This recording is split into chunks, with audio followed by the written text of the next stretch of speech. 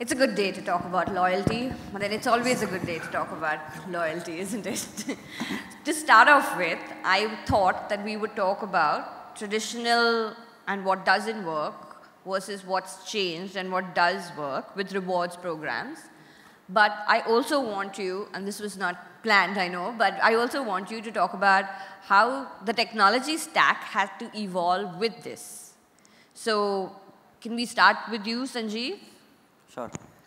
Uh, thank you for having me. Uh, so I think one thing that does not work anymore about a traditional loyalty program is at one point in time all that the program had was earn and burn, right? Uh, I think gone are the days when you can just run a bare bones earn and burn program and expect to expect that a customer will engage with you. Um, what has also changed is the way you engage with a customer. Again, at one point in time, you decided the channel which you wanted to use to engage with a customer. Uh, in fact, Ram and I were discussing this earlier this morning, saying that today you have to be everywhere and let the customer decide where he wants to engage with you. Uh, so these two things I know, at least off the top of my head, that have uh, changed significantly. And what does that mean? Like, how did you have to change to cope with that, for example? Sure. So uh, again, earlier you could just have a rule engine and you could use that to run your program. Uh, today you need uh, you need the ability to pull in data from multiple sources, uh, which is why CDPs have gotten popular. You need the ability to run campaigns as and when an interaction happens. So trigger-based campaigns. So you need systems that run trigger-based campaigns for you and then the ability to analyze all the information that's coming in to create those trigger-based campaigns. So there's a whole stack involved mm -hmm. behind it that enables this entire functionality. Fair enough. I want to get Vicky in because also, you know, hospitality and loyalty seems very closely, traditionally together. Yeah, I think um, loyalty programs today, first of all, just using the word program, I think loyalty has to become part of everybody's role, um, and it shouldn't be a standalone program run by a standalone department anymore. Um, also, it's moved very much away from the transactional nature as it was before, with promises for the future, building up points balances, moving up through tiers. That's, that's kind of a given. People expect that now. It's moving much more to the experience, um, demanding much more, especially since COVID, a lot more authenticity from brands um, and flexibility as well. Um, have we changed for that? We've moved from uh, uh, a legacy loyalty platform that we had before, uh, very much uh, accounting-based program uh, to, to count up all those points and all that money at the end of the day. It's moved much more to an agile platform that allows us to deliver in real time the next best experience, some of the things that we've heard this morning, um, allowing us to engage with our customers, deliver nurture campaigns, um, and, then, and then automate a lot of marketing automation in there as well. Okay, interesting. And so Ravir, of course, you've built it from, from scratch. Were there anything traditional about loyalty programs at you know? Uh, Yolande, yes and no. Now, there are certain elements of loyalty that, uh, that have come with tradition. I mean, be it the currency, uh, earn and burn, but that's a default that's a default of it. I mean, that's something that it's not new. It's, uh, it's a currency and we give back to customers in the form of points. But having said that, there is an evolution that one, uh, that any program has to do, and, and that, that's happened over time. So customers have evolved. Uh, as you said, customers uh, can today choose where and how they want to be uh, connected with. Uh, technology has evolved, and one has to, of course, be in line and in sync with uh, tech development. But having said that, there is a human element to it as well. So you need to kind of, you know, what I would like to say, humanize technology. So human behavior might change, but at the core of it, human beings are still human beings, right? So you need to be very, very cautious of the fact that how, while your technology evolves, you don't uh, lose the human angle uh, of loyalty. And uh, with, uh, with regards to the Rewards program, I mean, we had a fair set of challenges, of course, you know, as any other program in the market out there today. Uh, but we tried to keep it as simple as we, uh, as we can. Uh, we want to get in as many interesting partners that we can get. Uh, we do have uh, a couple of interest, partners from the outside, which actually make it exciting for our customers to engage beyond our network. I mean, we're a, we're a fuel retailer, and mm. fuel can only be as exciting as the industry. We're not a luxury hotel or we're not, a, uh, you know, we're not Emirates Airlines or any of that. But having said that, we still, we, you need to ensure that you engage with the customer, uh, ease of use, and uh, stay relevant. Hmm. That's interesting because it's not something, like you said, that you traditionally think about uh, fuel and loyalty as a program together. So, um, can you break it down for us in terms of what technologies make it to your loyalty stack? Yep, sure. So if you look at the loyalty solution as such, right, it starts with the, you know, if we kind of imagine this like a layered cake, you have the customer engagement layer. That's where your point of sale systems, you know, where customers interact in the store, or your e-com systems, or your marketing automation systems through which you engage your customers, your service channels. All of that form, you know, where loyalty influenced experiences can be surfaced on those channels. So that's one of the layers in the tech stack. The next one is typically the program administration or, you know, that's where the innovation needs to happen, right? It's not just about setting up a bunch of rules and then keeping the program constant. This is where you're really innovating, coming up with offers, personalization, uh, at, you know, targeting the right segment. So that's, that's where the innovation happens at the program level. And then you have, you need to leverage the in, insights and intelligence. So we're really looking at a data that is being consumed to really build that insights and intelligence, you know, to be able to drive that program ROI. For example, when you launch a new promotion, are you sure what is the lift in revenue that you can generate? for the cost that you're incurring for running that campaign, right? So there is that element of data and intelligence. And then below that sits the, you know, the data and the integration layer, right? Which is really consuming this data so that you can really serve up the personalized offers, right? And then of course you have the single source of truths, um, you know, which can build that loyalty profile for the member so that you can leverage that across the touch points. Mm -hmm. Okay. So tell me something, when you start off, who do you decide to target your or to promote your loyalty program to? How do you do that? And this is open for anyone, but would you like to take it? So, um, I mean, it depends on the nature of business. I think um, I, I, I, honestly think that the program is actually, at least in our case, the program is open for everybody and we do want to uh, reach out to everybody from the perspective that uh, a first transaction may not tell me what that, what the potential of that customer is. I still need to engage with him a certain amount of time. Now, that's, that's also why tiering exists in a loyalty program, right? I'm going to take my valuable customers and nudge them up tiers. Uh, but at the base tier again, I am reaching out to everybody and I'm doing that for a reason because I want to understand what the potential of every customer is. Uh, if, if you're talking about reaching out from a campaign perspective, yes, I'm selective there. But if you're talking about who wants to be a part of my program, with the business that we are in, we do want to capture as much information as possible. Okay. Is that different for you, uh, Vicky?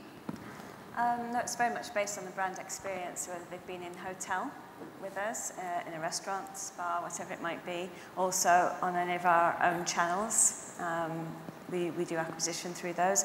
They're the two main uh, points of acquisition. So they've already, already had some sort of brand experience with us. And then also through some of our um, strategic partners as well. Okay. So has, has this customer behavior changed at all in the last few years? Or has the fact that customer behavior has changed, changed your loyalty program and the way you approach it? Um, yes. Uh, the customer behavior has changed in the fact that I think their values have changed. Um, they're wanting to get better use out of their own time now. Um, there's much more value on that. And I think any loyalty solution in that, it's really that data exchange. The value for data exchange is what you're providing really with a loyalty platform uh, and, and being able to deliver a seamless, effortless, and personalized to the extent you can experience for them where it's, it fits them perfectly and then they feel like they're not missing out on anything and they're getting the most out of their time. I think that's where data can really leverage the experience, like the part that we see above the water level. That's very important, isn't it? Feeling like you're not missing out. I mean, though it is uh, emotional, say, aspect to uh, an otherwise, yeah, financial program. So I want to talk a little bit about loyalty logic. And uh, I mean, I want both of you to take this question, but you can decide who goes first. How do you decide or design that loyalty logic, depending on the industry that you're in? Yeah, I can go. So, yeah. Uh, and I am, if I understand clearly, uh, you mean logic of the program, the commercial aspects of it, and uh, the earn and burn rules and what the program stands for. Yeah, the Do you- rules, how it works, what you don't want it to Well, be. I mean, uh, any loyalty program has to have uh, two things. One, of course, uh, it should be engaging enough for the customer, right? And uh, the other is your commercials as, uh, as a company and why, uh, first and foremost, why does that program exist in the first place? Is it purely just to engage customers or is there a commercial element to it, which I think most of the programs today should have or must have? Uh, you know, where loyalty programs, are they sitting as cost functions or are they P&Ls on their own driving, driving actual commercial value? Now, uh, when you're looking at rewards and uh, per se, not really logic, but I would say what the earn, burn, or reward values are. Uh, I mean, i i it, it's, it's determined by a couple of factors. One, of course, is your margins. I mean, you, at the end of the day, uh, you need to be, uh, you need to forecast what your margins are on the products that you're selling. Uh, and build up on that. And again, at the same time, you need to also look at uh, the fact that today customers are very aware. So loyalty is earned, right? You're not, you, you can't buy loyalty. It's not, I'm going to give you 20% and you're going to be loyal to me. It doesn't work like that. And uh, in order to do that, uh, you need to A, educate customers, uh, have considerable value, but at least the perceived value must be great. And there are some, uh, many organizations that have done that really well. And then on the other hand, there are organizations who may be giving back a lot of value in terms of uh, the financial actual uh, worth of uh, the currency, but the perceived value may not be there. So it's, it's, it's, a, it's a healthy mix of both, if you ask me. Uh, and uh, if, if you can get that right, I think that would be a good starting point uh, so that at least you're able to engage your customers uh, well enough because today So there are too many programs. you're making it count for them, but you're also making it count for it the has to count for both. For the it business. has to count right. for both. If it doesn't make sense for you, I mean, yeah, you, you, at the end of the day, you're a commercial entity. You're not running a charity.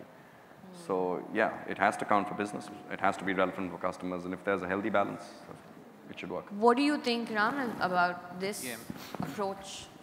I think, you know, extending what uh, Surya will mention here, there are few objectives that any loyalty program would like to achieve, you know, uh, when we talk to customers. One is you want to deepen relationship. You want to leverage loyalty program to really deepen that relationship, right? You want to engage with the customers, drive engagement. You want to increase wallet share. You want to influence behaviors, right? And customers, depending on um, you know, the nature of business, the product or categories that they serve, as well as the market or the industry in which they operate. The maturity in that would determine, you know, how much they are leveraging this across, right? To what degree? Let me take an example. Uh, if based on the product and category served, if you are in grocery, you're probably have more frequent interactions, engagement, Sure. and the value probably is less, but they are more frequent. So you're really talking about customers you are engaging with your brand. So your objectives there is, I want to increase my share of wallet, right? I want to uh, influence their behaviors. Whereas if you look at a luxury brand, uh, it's more about you can't do points probably because you know the customer is turning, you know, coming to you maybe once a year, right? Uh, so there it's more about how do you drive that exclusivity and experiences. It could be like an automobile. So it's less, yeah, it's less about, you know, that value exchange that you have through points. It's more about how do you drive that experiences and exclusivity. So maybe you're bringing some lifestyle partners together. Maybe you're creating some interest groups so that you can make the brand top of mind. right. So that logic typically varies based on that. And then the second aspect is the markets and the maturity, right? If you're a early stage company going direct to consumer, you're more focused on customer acquisition, right? Whereas an entrenched player in a, or in a very mature market, you're more towards engagement and using loyalty as a retention tool. And really in travel and hospitality, you're looking at how can you drive additional revenue streams, leveraging loyalty, right? So that really varies from the market in which you serve and the categories that you serve. Okay, that's interesting. I want to know Uh, which brings me to my next question is how do you measure the success of your loyalty program? So Vicky, if you could start with you first. Um, I think, again, I think that's the importance of those KPIs has switched more to customer engagement, uh, retention, repeat business, CSAT, NPS. I think those have become more important in measuring loyalty rather than, uh, I don't know, uh, redemption rates and everything else that we, that we typically have before. Whilst they're still important for the financials of the program, I think, and someone mentioned this this morning, get the experience right for the customer and the revenues, you can see that the revenues do follow on. So I, I think it's become much more about the engagement piece um, Okay. in terms of measuring the success now. Would you agree, Sanjeev, anything to add? Absolutely. So um, we have, so internally we have two types of metrics that we look at to evaluate our program. Uh, one is sort of internal to our team. Uh, so the larger metric, like she mentioned, is is repeat revenue, right? So uh, we look at our contribution of the program to overall sales. And if you break that break that down, there is acquisition, there is retention, and there is uh, the engagement bit. But something else that, at least as a team, we hold very close to our heart is uh, because we're a central function, we operate a little differently. So we have, we have, so we have brands that reach out to us, and they're sort of our internal customers. Uh, so the more often a brand engage with, engages with us to drive either promotions that we come up with or promotions that they need to reach out to their customer audience, the frequency of that is something that we hold close to heart. So what I mean by that is that the more they reach out to us, the happier we're because we know that we're doing something right, which is why they keep coming back to They us. They keep coming back. Yeah. Okay. Yeah, I think that's interesting. I mean, if you look at, correct me if I'm wrong over here, but if you look at your loyalty program as uh, like the the super CX version of everything that you're delivering. So is it a reflection then for the rest of the pool of whether you're doing things right, whether things are getting messed up, whether uh, parts of your journey have friction? Is it a way to collect more feedback or sort of um, experiment, I would say? Is it or, or does it survive purely by itself? Is it reflective, is what I mean, of um, how your journey is doing in general? Because then you could convert more people to, say, your loyalty program. Is that for me? Yeah, it could be for you.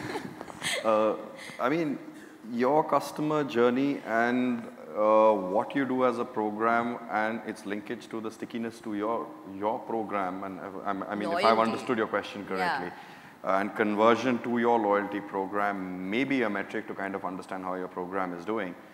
But you know, as Vicky was saying, there are a couple of things that you would look at. You know, one of them, okay, let's say lifetime value because at the end of the day, if your customers are coming back to you and spending more, and there are some very old historical metrics, and I won't get into that about you know loyalty, which everybody knows, saying okay, a loyal customer spends a lot more money with you, and of course that that does that uh, they that they do. But having said that, if you have a seamless journey across your brand, uh, loyalty is just one element of it. yeah. Right. I mean, loyalty is, you know, be it a hotel, be it an airline, or be it, you know, fashion, retail, or in the oil business as well.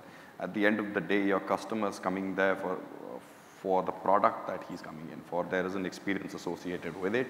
There is uh, ease of doing business that is associated with whatever you do.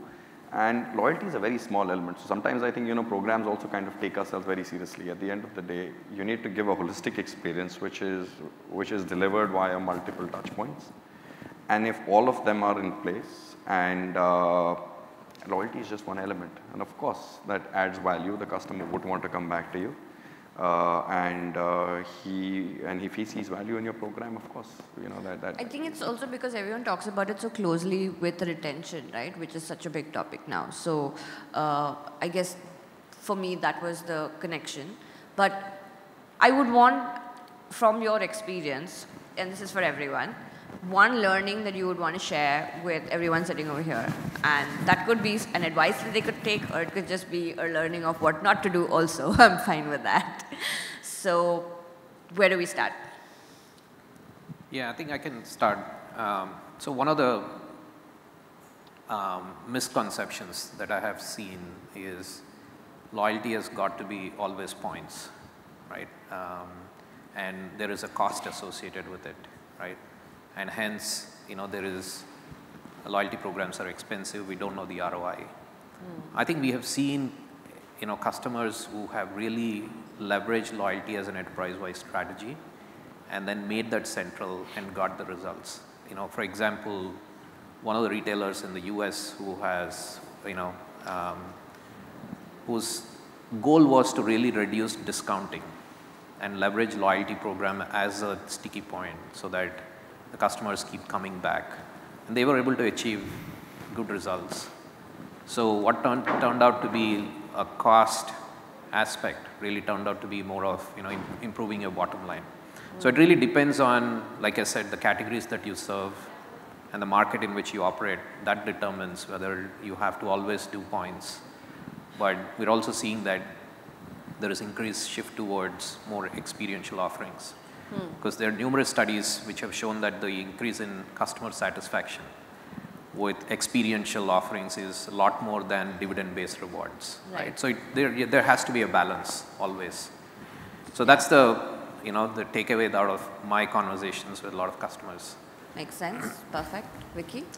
Um, I think for me it's breaking down those silos um, and really making sure we've got such a rich pot of data and zero and first party data within a loyalty platform. Um, and it doesn't, often doesn't, it still sits in that silo. So making sure that that's accessible and used across the business, whether it's from helping customers through their booking journey, making sure that all of their pre-arrival details are looked after, that their check-in is seamless, we know when they're arriving, what they're expecting to do whilst they're with us, um, the, the seamless checkout, making sure that their travel arrangements are, are known, and, and then listening to that whole voice of customer afterwards and bringing that, and bringing that back in. We've got so much rich data there, but typically in companies you'll see it sits in a, in a loyalty platform and isn't disseminated or used anywhere else. So it's really breaking down those barriers and I think, yeah, you do know your customer. It's just that you have to make him realize that I know you and I'm acknowledging Absolutely. that Show me you know me, yeah, right. absolutely. Showing that you know that. right. Uh, uh, one of the key things about uh, that I think we most loyalty program managers or heads of CRM struggle with, I think, is uh, uh, the actual value of a program and uh, working on that, especially with internal stakeholders. Because there's this constant battle and I've, at least I mean I've seen it in my experience and I'm, I'm, I'm not sure many uh, here in the audience have uh, had that as well wherein um, it, it, there's always this conflict on saying what is the actual value this program brings? Mm -hmm. and why should I spend money on it you know? And one is you know as Raju was saying is points necessarily does not have is you know uh, is something that we need to work with but I'm generally saying does the program actually add incremental business value? Mm. And you have, you'll, you'll, probably see finance heads and, you know, uh, commercial heads butting heads over this literally to understand that, no, no, you know, uh, it's very critical that as a CRM or a loyalty uh, practitioner, you're able to define this very, very clearly with your senior management or with at least the senior stakeholders so that you can define what dollar value this program brings on the table. Mm. And be that as may, it may be in the terms of, you know, lifetime value from a customer or in the form of incremental business mm. or third party income from partnerships. But defining this is very critical. Otherwise, running a program and constantly, you know, having to deal with this internally is a challenge I see many practitioners face all the time. I think that's a very fair point because if it's, you don't have a buy-in internally, then it's going to be diluted in terms of what it actually projects as or what consumers understand it as. But also, I think to break it down to those individual KPIs, right? This is what I'm going to put in and this is what I'm going to get. And to sort of, exactly. Yeah, commit. So your, your, definition of success must right. be defined and not defined along the way. Yeah, but I think also individually, like you said, as opposed to only for the brand. Like I see right. the big picture, but I also need to see the small pictures to put in my extra effort. So yeah, that's a really great point. Sanjeev? Sure. So I think when we talk about a loyalty program, a lot of us tend to think of the loyalty program as, you know, a point earn and burn. So what you tend to do then is you tend to sort of take the program down to its lowest point, which is just a rewards program. When you're talking about loyalty, you basically our roles is to do absolutely everything that will take to drive loyalty. Now that could be like Vicky mentioned, you know, personalization, use data to drive personalization. Uh, it could be something as something like you know actually owning the CX function to ensure that if something goes wrong, you actually own that experience and drive that experience. Because a rewards program is the smallest part of what is actually going to drive loyalty. So that is something that I've learned over the last few years. Well, I've learned a lot through this panel. Mostly, I think understanding loyalty mechanics to suit where consumers are already at, which is way beyond, like you said, the basics point program. All right. I want to thank my panel for taking the time to talk to us, and thank you for listening. Thank you, thank you. Suryaveer, Sanjeev, Vicky, Ram, and Yolande, thank you for that panel. That was very good. Appreciate you so much.